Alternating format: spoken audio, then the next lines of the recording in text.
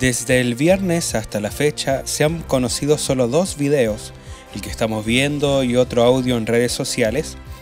La verdad es que lo que sucede es realmente impactante. El Ministerio Público, los abogados y aquellos que están a cargo de la investigación darán cuenta de lo que será en materia investigativa.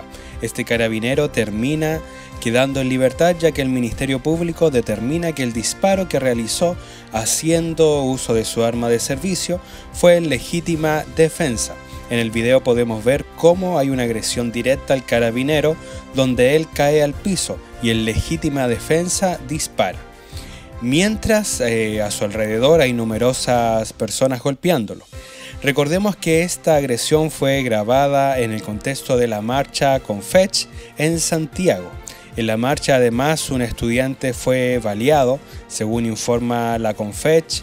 Eh, se estaría realizando las averiguaciones para saber a qué universidad pertenece y el gobierno también está levantando antecedentes.